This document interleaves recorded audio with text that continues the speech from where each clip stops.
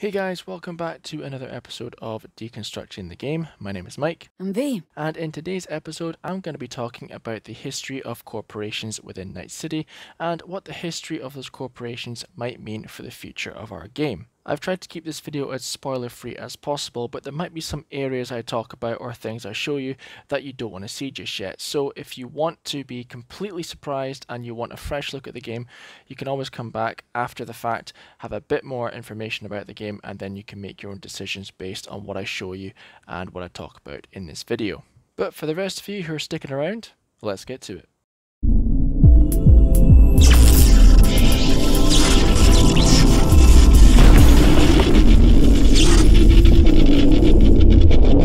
So for some of you, the history lesson at the start of this video might be long and boring, and if you don't want to know anything about the corporations of Cyberpunk 2077, you can always skip ahead to the end where I make my conclusions and tell you about my theories based upon that history and what I've seen in the game so far. I'll post timestamps down below so you can easily identify where you want to go to, but the corporations in Cyberpunk 2077 do have a little influence in the game so far, and as I say, they may have a larger influence in the future, so you might want to stick around for the history lesson, but if not, the timestamps are there for you. And if CD Projekt Red are going to do anything with this game like they do with The Witcher 3, a lot of the content in that game is influenced by a series of books that are heavily referenced in the game, so you never know, we might see more of that in the future for this game. But anyway, let's get to it. So to start off with, I'm going to be talking about two major companies of Night City, and of course they are Arasaka and Miltech. Arasaka started off in the early 1900s as a manufacturing company headed up by Seiji Arasaka. Seiji Arasaka passed away in the 1960s and his son Saburo Arasaka took control of the firm and initiated a series of far-reaching reforms. This expanded the company into the banking sector and the private security sector. The private security sector grew so quickly and had a reputation for being so professional that Saburo Arasaka's influence of the globe and Japan extended into the political sphere. People worried so much about his influence in the political sphere that they created a treaty to stop him getting what he wanted and this treaty would trouble him for decades to come. Saburo Arasaka profited off of the collapse of 1994 and 1996, and by manipulating his assets and stocks, he was one of the companies that was able to profit from that crash. Arasaka and Miltech have always been enemies, but never more than during the Fourth Corporate War, which we'll get to in a second. Miltech is one of the younger companies and was founded in 1996 by an Italian weapon designer Antonio Lucessi. The company was originally called Armatech Lucessi International, but after designing primary and sidearm weapons for the United States Army, was soon changed to Miltech and expanded its catalogue into not only weaponry, but vehicles and weapon technology as well. But Armatech's transition to Miltech was never that easy, and it only became Miltech when General Donald Lundee got tired of seeing his own men die on the battlefield due to the American Army buying cheap knockoff equipment from rival companies of Lucessi Lucessi and Lundee formed a union and decided to call the company Miltech. They then won the contract for the Ronin assault rifle primary weapon system and the sidearm system. From then on, they expanded to a global scale and the company flourished. Miltech was one of the major participants in the Fourth Corporate War, during which it clashed violently with Arasaka and dealt the devastating blow that was the mini nuke within its headquarters of Night City. After the Fourth Corporate War, Miltech was nationalised by the United States government to bolster their own ranks, but since that nationalisation, Miltech regained some of its independence, however some of its high-ranking officials remain in office, allowing the company to gain trillions in revenue. This shadows Arasaka that only have billions in revenue. Both companies are super successful and could be considered mega corporations of a global scale, but Arasaka is more influential in its policies and politics due to Saburo Arasaka's studying when his father was in charge. Saburo Arasaka wanted political gain and influence to return Japan to its former glory after World War II, and he never forgot how the Americans devastated his country. However, Saburo's global takeover soon ceased after the nuclear detonation at Arasaka Tower and growing pressure from the Japanese government to pull back. This growing pressure to pull back ended the war and reduced Arasaka to a Japanese only company who was only allowed to operate within the borders of Japan. Nevertheless, Arasaka flourished in Japan and even overcame internal struggles, with Saburo Arasaka's children all fighting over what direction the company should take next. Saburo Arasaka was able to unify the family and was later asked to return to Night City in order to defend it against an invasion that would be the Unification War. If you take away the banking, Miltech and Arasaka could appear to be the same company, operating under black ops, military coups, assassinations, terror attacks. Arasaka and Miltech have an awful lot in common in that regard. So why do they clash so much during the Fourth Corporate War? Well, it's important to note that the Fourth Corporate War was actually started by two smaller companies who wanted to acquire a liquidating ocean research and transport company by the name of IHAG. The two bidding companies, CINO and OTEC, CINO standing for Corporation Internationale Nauticale et Oceanique, and OTEC standing for Ocean Technology and Energy Corporation, wanted to acquire the assets of IHAG, a German company that's English translation relates to International Merchant Marine Corporation. All three companies worked in the same field, so when IHAG went bankrupt, both other companies wanted the assets and quickly turned to the table for negotiations.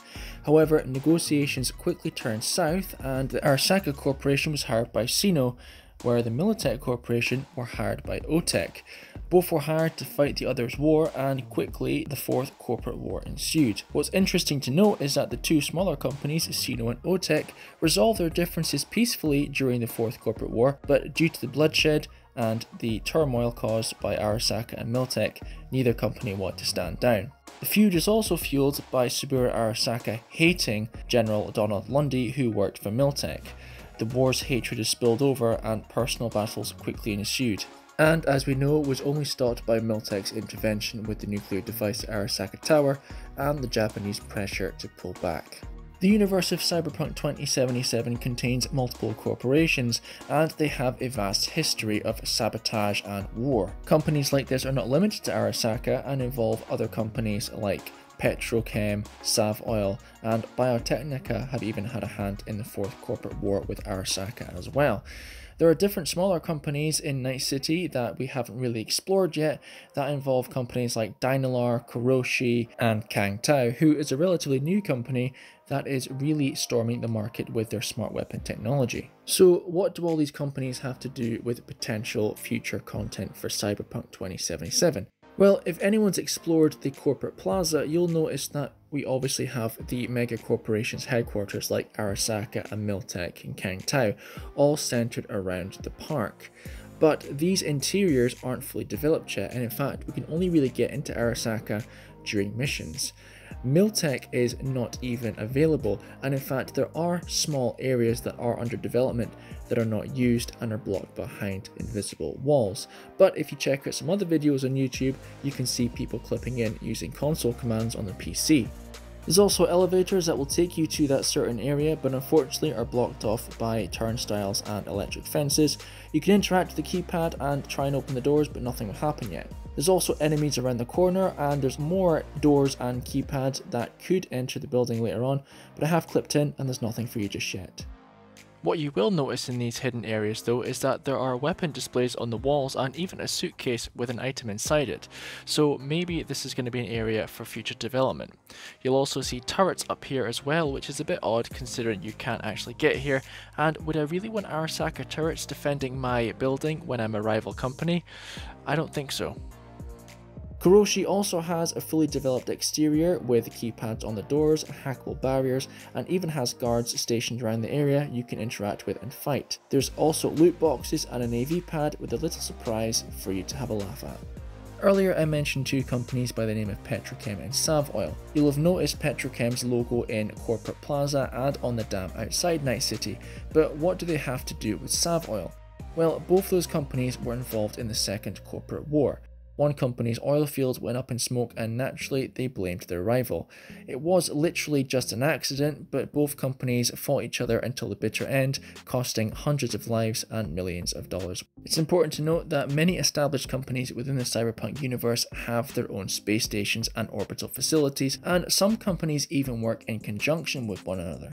So could we see a further space expansion in relation to corporate organizations? Because I can definitely see some sabotage missions and thievery missions in the future. This could be on multiplayer scale or just some added DLC missions. I do think that eventually we will be able to blow up the dam that hides Laguna Bend and could be an old SovOil grudge against Petrochem. Having looked at the sheer volume of water that covers Laguna Bend, it's unclear if that water will fit in between the gap between the two dams, but in the future we might be able to drain the water away to reveal more. It's unclear at the moment if Petrochem own both the dams or if perhaps another company built a dam up behind their dam to stop them gaining the benefits of hydroelectricity production. But I think it could both be Petrochem, and in that case opens up a whole sabotage option for SovOil or indeed any other company in the game. This theory is slightly backed up by the fact there's buildings on the other side of the geofence just around the corner that have nicely rendered textures in some areas, but the rest of the buildings aren't fully developed yet. Many companies also have their own underwater facilities and this could explain the reason we have the oxygen tank and very little to explore in the game so far. Upon looking at the locations of the headquarters for some buildings, it does look like they could be arenas of some kind for online multiplayer, like Capture the Flag, Sabotage, or just a general deathmatch. Places like Dynalar and Kiroshi even have security checkpoints that are so far unimplemented and the only one that I've seen work so far is the one in Konpeki Plaza at the start of the game. So again, future missions or possible online DLC. We still don't know who Mr. Blue Eyes works for, and that opens up a lot of avenues for sabotage and conflict with other companies. Could Mr. Blue Eyes be an independent party, or might he work for Miltech? In that case, the old Fourth Corporate War feud between Miltech and Arasaka could be reignited. OTEC are also a company to look out for in the future as they have a small gripe with Arasaka, as they were the security force in place when things went south for them. OTEC also supply Arasaka with liquid hydrogen, surprisingly enough, for their space program. And if we take a look at the Arasaka docks, we see multiple pipelines going in the direction of the unfinished spaceport. Once again, this might open up avenues for further sabotage missions. During the Fourth Corporate War, Biotechnica tried to stay as neutral as possible and had already signed contracts with both Miltech and Arasaka previously. However, being the bigger company, Arasaka got more benefits and under the table, Biotechnica conducted more deals with them. If Miltech caught wind of this, this could have repercussions and the Biotechnica Flats could be an ideal area for future missions or battlegrounds. This idea is slightly backed up by the fact only half of the area is available and the other half is blocked by a geofence. I have clipped into this area and it is pretty much just the exact same with a sea defence wall and a few pipelines. There's also unfinished areas like the casino grounds and the quarry area, also the football stadium which could be spawning areas or arenas for multiplayer death matches or further missions. And in fact, if you own a guidebook, CD Projekt Red didn't even try to hide the fact that the casino grounds and quarry areas were there. And if you look closely at the football stadium, there was no roof on the finished product in the guidebook. So again, there was content there that was supposed to be here that isn't here yet. The history of corporations is only slightly shared in shards around the game, and we haven't really got to experience much of the corporations apart from Arasaka. We have a hint of Miltech and a little bit of Kiroshi as we have the scanner embedded in our eye socket, but we haven't really got involved with much corporation activities. Of course, some of the gigs we do do involve thievery and sabotage, but not on a large scale level. So I hope CD Projekt Red embraces the history of Cyberpunk and gives us some future content relating to these companies. Everything I've mentioned in this video so far has been only theory based on the history of Cyberpunk 2077 and what we see in the game. Future content isn't only limited to online play, but we could see different story missions as well, and I can definitely see CD Projekt Red implementing some kind of faction system, like you work for Miltech, Petrochem, or Arasaka, and you play through certain story missions with them and are able to swap and change what you want to do, just like your starting stories for the game. This would be a nice addition, but I'm not holding my breath because of course there is a lot of work to do in the game so far in relation to glitches and bugs, but I want to hold a hopeful candle to what CD Projekt Red could do in the future as really there is no other choice at this point. But whatever it is, I hope it's something to do with corporations because this is an area in the game that is highly influential but very underexplored. Of course, the history of Cyberpunk 2077 isn't only limited to corporations, and there are many other factions within the game as well, but I've limited this video to corporations only as I feel that there's a lot of stuff in the game that's influenced by corporations that we haven't actually got to see firsthand yet. The visuals I provided only provide a small chunk of the un finished areas of the corporations of the game and if you want you can always explore more in your own game to see what you can find as well. I hope you've enjoyed watching this video and listening to the history of corporations of Cyberpunk 2077.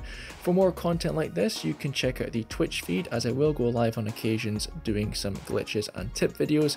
I will do other videos for games as well, uh, but at the moment I'll be focusing on Cyberpunk 2077 for the foreseeable future. My name's Mike, you've been watching Deconstructing the Game, I'll catch you later.